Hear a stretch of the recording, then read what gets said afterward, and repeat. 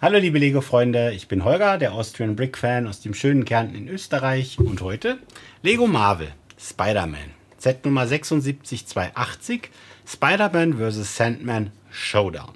347 Teile für 37,99 Euro. Ähm, erschienen Januar 2024, basiert auf Spider-Man No Way Home, wie wir hier oben auch sehen können. Drei Minifiguren, die sind da unten abgebildet.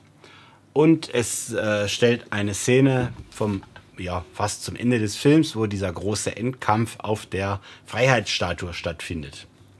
Da gibt es ja ein extra Set, äh, Spider-Man Final Battle. Das ist jetzt halt nur mal eine detailliertere Szene daraus. Man sieht auch auf dem äh, Bild hinten, dass es sich halt eben immer noch um auf den Kampf oben auf der Freiheitsstatue äh, handelt. Mit Lizard, Elektro, Spider-Man, drei Minifiguren dabei ja.